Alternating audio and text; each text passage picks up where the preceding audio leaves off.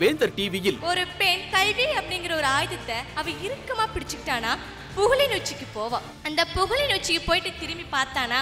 அவ வந்த பயணத்துல அவள் எதிர்கொண்ட போராட்டங்கள் அவமானம் கண்ணீர் கஷ்டம் நஷ்டம் கவலை வார்த்தையால் சொல்ல முடியாதுங்க. உணர்வால தான் உணர முடியும்.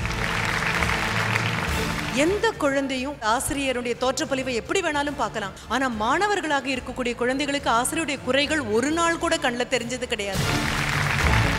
பேராசிரியர் டாக்டர் ஜெயந்தஸ்ரீ பாலகிருஷ்ணன் அவர்கள் தலைமையில் அறம் செய்வோம். வரும் ஞாயிறு காலை பத்து முப்பதுக்கு.